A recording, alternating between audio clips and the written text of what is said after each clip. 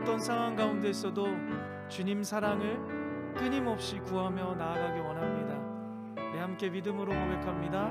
나 무엇과도 주님을 나 무엇과도 주님을 바꾸지 않으리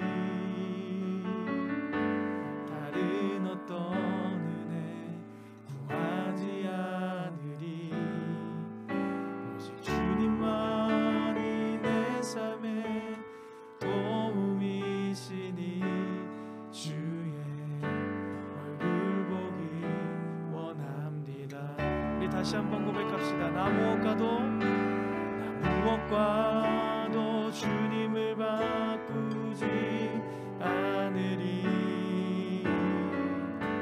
다른 어떤 은혜 구하지 않으리. 오직 주님만이 내 삶의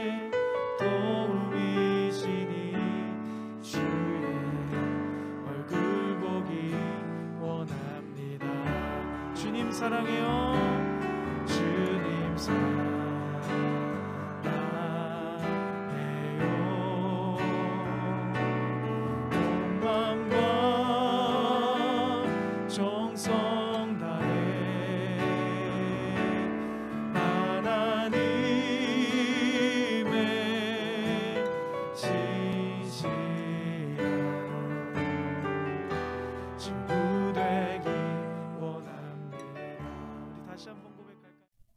하나님 말씀은 룻기 1장 11절에서 14절입니다. 룻기 1장 11절에서 14절까지 말씀 아, 제가 읽겠습니다. 아, 그러나 나오미가 말렸다. 돌아가다오 내 딸들아 어찌하여 나와 함께 가려고 하느냐 아직 내 뱃속에 아들들이 들어 있어서 그것들이 너희 남편이라도 될 수 있다는 말이냐 돌아가다오 내 딸들아 제발 돌아가거라 재혼을 하기에는 내가 너무 늙었다. 설령 나에게 어떤 희망이 있다거나 오늘 밤 내가 남편을 맞아들여 아들들을 낳게 된다거나 하더라도 너희가 그것들이 클 때까지 기다릴 셈이냐? 그때까지 재혼도 하지 않고 홀로들 지내겠다는 말이냐? 아서라 내 딸들아. 너희들 처지를 생각하니 내 마음이 너무나 괴롭구나. 주님께서 손으로 나를 치신 것이 분명하다. 그들은 다시 한번 큰 소리로 울었다. 마침내 오르반은 시 어머니에게 입맞추면서 작별 인사를 드리고 떠났다. 그러나 룻은 오히려 시어머니 곁에 더 달라붙었다. 아멘. 나오미는 남편과 두 아들을 잃었습니다. 우리는 이 말씀을 읽으면서 아, 나오미가 얼마나 슬플까 생각합니다. 참 안 됐다. 딱하다 라고 생각을 해요. 그런데 우리가 생각하는 것보다 훨씬 더 그녀의 상황은 좋지 않았습니다. 왜냐하면 그 당시 과부가 되었다는 건 너무 비참하고 힘들고 가혹한 거예요. 근데 나오미만 과부가 된 게 아닙니다. 말씀에 보면 두 며느리들 또한 과부가 된 거예요. 이런 절망적인 상황 속에서 나오미는 이렇게 고백합니다. 주님께서 손으로 나를 치신 것이 분명하다. 나오미는 하나님이 자신을 치셨다고 생각했습니다. 왜 그렇게 생각했을까요? 나오미 안에 찔리는 것이 있었거든요. 그게 뭐냐면 약속의 땅을 떠나 모압 땅으로 이사 간 겁니다. 하나님이 약속하시고 주신 땅에 머문 것이 아니라 자기들 생각대로 거기를 떠나 모압 땅으로 간 겁니다. 그래서 나오미는 하나님께서 나에게 벌을 주셨다라고 생각한 겁니다. 아, 물론 나오미는 하나님께 서운했을 겁니다. 내가 잘못해도 하나님께 서운할 수 있잖아요. 잘못은 했지만 어떻게 이렇게 하실 수 있냐고 남편만 데려가신 게 아니라 어떻게 아들까지 두 명이나 데려가실 수 있냐고 하나님께 서운할 수 있잖아요. 하지만 성경에 보면 나오미는 하나님께 원망하지 않았습니다. 그리고 하나님을 떠나지 않았습니다. 오히려 그녀는 이방 땅 모압을 떠나서 약속의 땅 유다로 향한 거예요. 어, 그런데 이런 생각이 들지 않으세요? 왜 나오미는 유다로 향했을까? 다른 곳을 갈 수도 있는데 왜 유다로 간 것일까? 그녀에겐 믿음이 있었거든요. 어떤 믿음이요? 세상 모든 것을 하나님께서 주관하신다는 믿음이요. 비록 하나님이 나를 치셨지만, 치신 분도 하나님이시지만, 나를 회복시키시고, 나를 살리시고, 나에게 은혜 주실 분도 하나님이다. 라는 믿음이 있었기 때문입니다. 아, 여러분, 아, 살다 보면 어, 억울하고 힘들 때가 있습니다. 신앙생활을 잘 하지만 어떻게 나에게 이런 일이 일어날 수 있냐고 하나님이 원망스러울 때도 있습니다. 또 나의 무능력함 때문에 자기 자신이 원망스러울 때도 있습니다. 하지만 이때 한 가지를 기억하며 사시기를 바랍니다. 그게 뭘까요?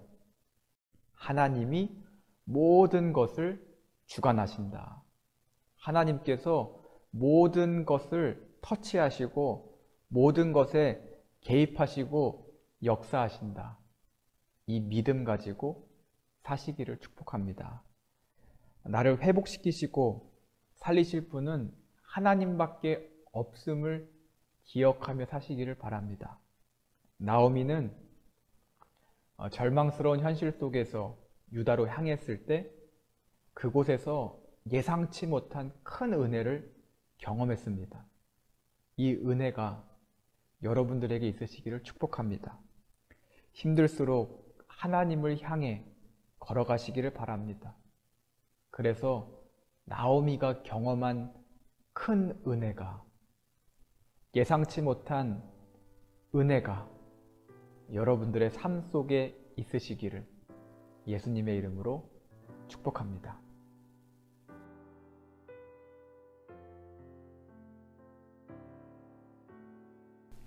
어, 오늘 말씀에 보면 나오미는 어, 힘든 상황 속에서 어, 그냥 모압 땅에 머문 것이 아니라 유다 땅으로 가기로 결심을 하고 걸어가는데 음, 어, 우린 어떨까라는 생각을 좀 하게 된 것 같아요. 그래서 힘든 상황, 절망 속에서 어, 우리는 어떻게 하는가? 하나님의 뜻을 묻는가? 음. 아니면 좀 인간적인 생각, 세상적인 기준 그런 것들을 고려하진 않는가? 그래서 목사님하고 전도사님은 음. 어떠신지 좀 음. 여쭤보려고 합니다. 목사님 먼저. 저는 어 사실 이렇게 막 평소에 금식기도 이런 거 잘 안 했었는데 한 번은 이제 저희 큰 애가 조금 아팠던 적이 있어요. 지금 이제 다 괜찮은데 이제 그랬으니까 아, 이게 음식이 안 들어가더라고요. 자연적으로 금식 기도가 되면서 음. 간절하게 하나님 찾고 기도하고 막 누가 시키지 않아도 그렇게 하던 하는 어떤 그런 게 있더라고요. 그러니까 되게 나오미가 지금 상황이 어렵겠지만 그 상황에서 아, 유다로 돌아갔듯이 저도 이제 하나님을 좀 붙잡는 어떤 그런 것들이 좀 생각이 났어요. 음. 그래서 어, 그랬던 적이 한 번 있었습니다. 음. 전도사님 어떠세요?